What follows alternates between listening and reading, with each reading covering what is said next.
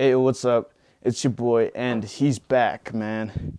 It's been a while since I've uh, continued my journey, and the reason for this is I started to live a regular life's agenda, and I started to just work and go to sleep, do the same thing repetitively. But because I started to feel too comfortable, I started to forget what my real purpose in this world is. My real purpose in this world is to help this future generation know that you don't really need to take the regular path in order to be successful in life. That's why I'm going to continue. Take your own path, and that's what I'm doing. I'm taking my own path, and I'm not taking the traditional route.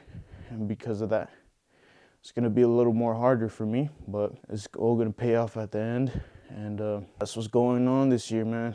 The boy's back, no more breaks. This, you guys will be seeing more of me tomorrow. And so for the names that people told me to like do, I'm gonna continue the list.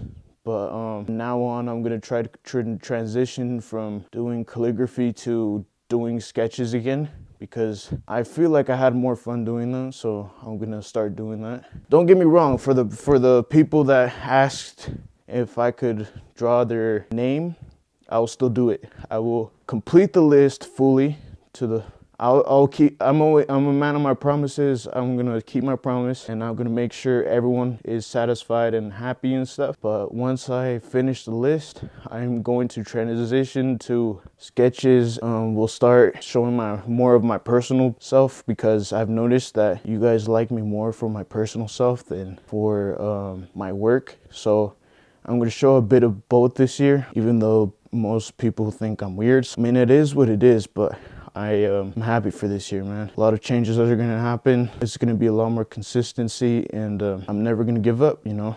I'm gonna I'm gonna prove to this generation that you can actually make something of yourself without doing the regular paths that were provided to us since we were babies, you know. It's like high school hasn't changed. They lead you to the regular paths, but they just don't know that you don't need to go to college to do to be a successful person, you know. It's my purpose in life. I'm gonna help this future generation become the best version of themselves. Anyways, love you guys. You guys are gonna see more of me this year. Peace.